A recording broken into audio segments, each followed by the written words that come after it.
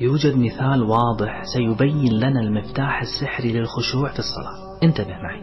عندما تتصل هاتفيا بأحد أصحابك فلا يرد عليك بل يرد عليك جهاز الرد الآلي ويطلب منك تسجيل رسالة. فتبدأ أنت بتسجيل رسالتك بالهاتف. في هذه اللحظة التي تسجل فيها كلامك لصديقك هل شعورك فيها يساوي شعورك لو أنه كلمك وأخذت تتحدث إليه مباشرة وتكلمه؟ طبعا لا.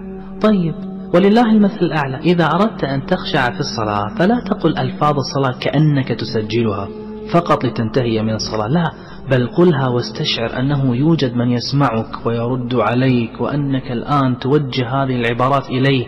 لست فقط تسجلها تسجيلا. نعم يوجد لدينا يقين كالشمس أننا بين يدي الله.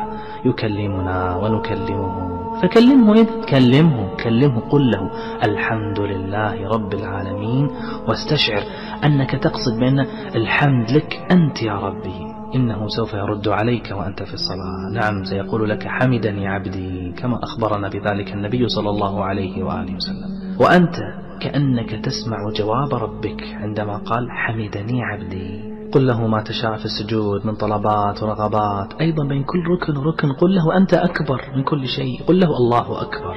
ثم قدم له التحية في آخر لقائك معه وقبل الوداع بقولك فأنت تحييه لتودعه. المهم استشعر المناجاة بأنك تخاطبه وتوجه الكلام إليه. عندها والله ستتغير صلاتك. سيكون أحلى لقاء لك مع الله. جربه اليوم ولاحظ الفرق.